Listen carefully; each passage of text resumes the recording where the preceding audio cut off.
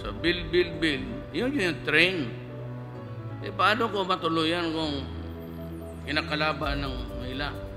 Paano ko maswelduhan yung mga maestra?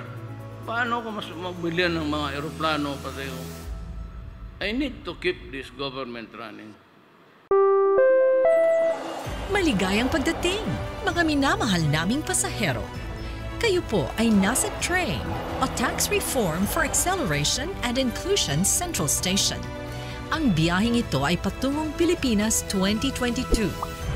Ito rin ang biyahe upang marating ang ambisyon natin 2040. Una, layunin ng train na magkaroon ng simple, patas at maayos na sistema ng pagbubuwis. Ang kontribusyon ng bawat Pilipino ay iaayon sa kanilang kakayahang magbayad. Lahat ay makikinabang sa mga programa at serbisyo ng ating gobyerno, lalo na ang mga may hirap. Pangalawa, kinakailangan ng train upang puksain ang matinding kahirapan sa pamamagitan ng pamumuhunan ng gobyerno sa infrastruktura, kalusugan, edukasyon at iba pang social services. Sa pamamagitan ng simple, patas at maayos na sistema ng pagbubuwis, makakatulong ang train sa paglikom ng sapat na pondo para sa mga pangunahing programa ng gobyerno ngayon at sa susunod pang mga taon upang maabot ang ambisyon natin 2040. Simple lang.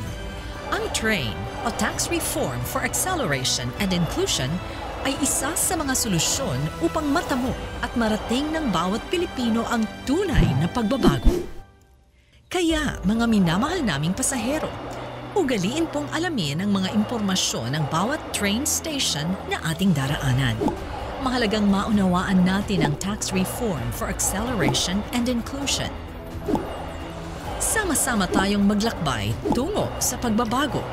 Maraming salamat po. Maligayang pagsakay sa train. Tayo po ay paparating na sa Pro Sahod Station ng train. Pro Sahod Station dito, mas mataas na ang naiuwing sahod ng karamihan sa empleyadong Pilipino.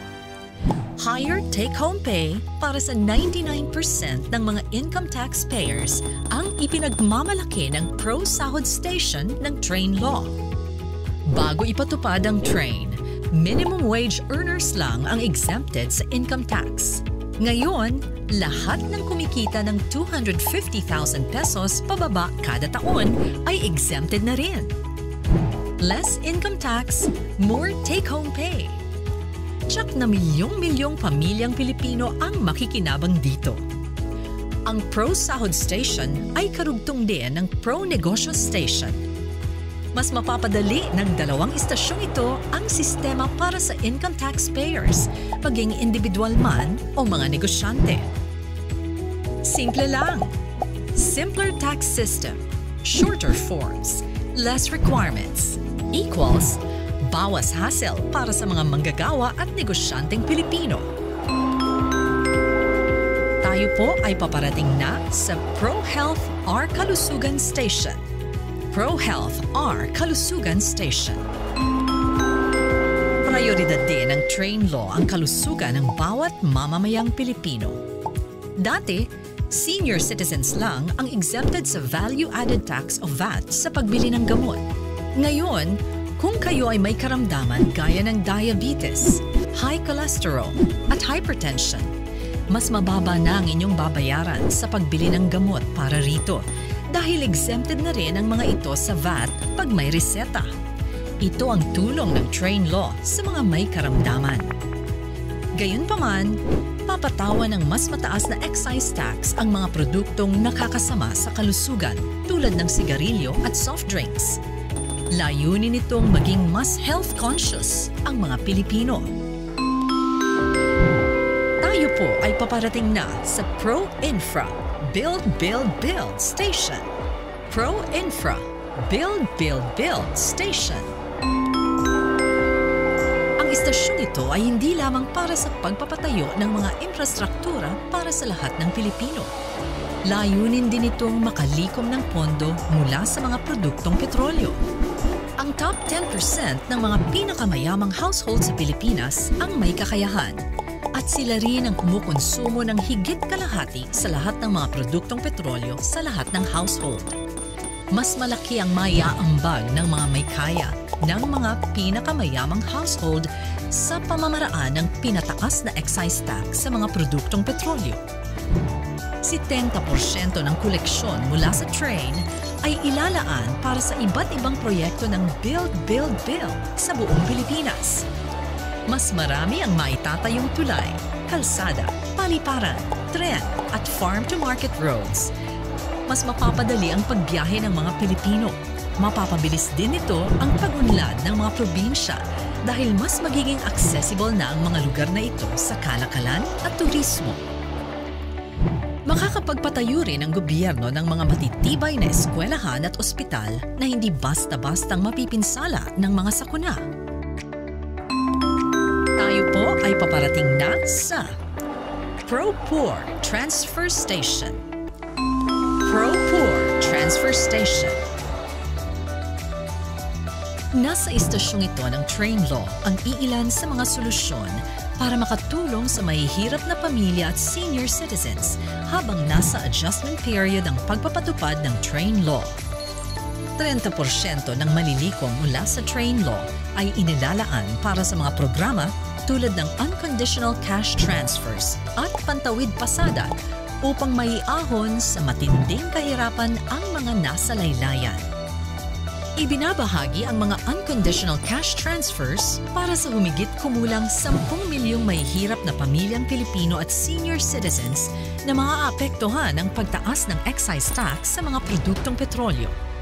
Kasama nito ang pantawid pasada, gayon din ang mga libreng TESDA trainings. Nakapaloob sa train law ang ganitong mga programa upang alalayan ang mahihirap nating mga kababayan. Mga minamahal naming pasahero, paalala pong muli. Layunin ng mga reforma sa pagbubuwis na makarating tayong lahat sa huling station, ang ambisyon natin 2040 station. Bago makarating sa ambisyon natin 2040 station, daraan muna tayo sa Pilipinas 2022 kung saan mararanasan ang mga sumusunod.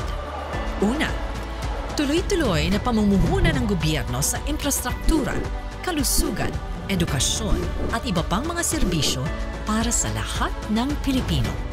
Pangalawa, mababawasan ang poverty rate mula higit kumulang 22% noong 2015, pababa sa 14%. Makakaahon ang milyong-milyong Pilipino sa kahirapan.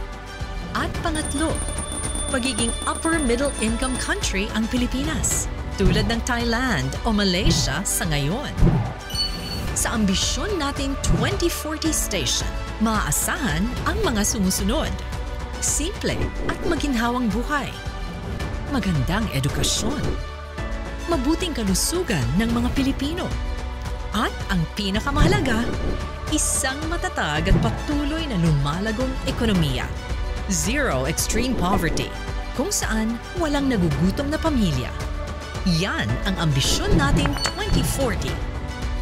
Inaasahan namin ang inyong pagsama sa mga susunod pang biyahe ng ating train o Tax Reform for Acceleration and Inclusion. Isa sa mga solusyon upang matamo at marating ng bawat Pilipino ang mas komportabling buhay at tunay na pagbabago. Tuloy-tuloy ang biyahe natin, mga pasaherong Pilipino. Sa Train Law, sagot natin ang pagbabago.